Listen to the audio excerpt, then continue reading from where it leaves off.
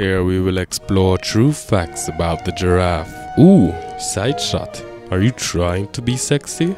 It's working. Giraffes are the tallest mammals on earth. They're pretty cool, docile, and boring if you ask me. Here's a fun fact.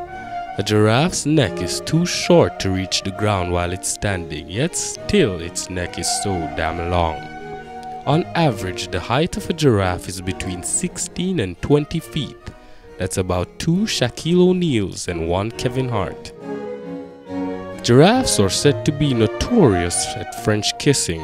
Ooh, ooh, see what I mean? It is not advised that you try and French kiss a giraffe or you will be embarrassed and disappointed at how bad you are at it. The advantage of being so tall is that they can reach tall branches that are up in tall trees to eat not so tall leaves. Although I don't see the point cause there's no leaves right here. It's just stupid. Giraffes have a dark bluish color tongue that is very long and they have no top row teeth. Hmm, come to think of it. It's like they're eating candy all the time. Think about it. They have no top row teeth because of the cavities and the dark bluish tongue because of the color. You aren't fooling me, giraffe. You aren't fooling me.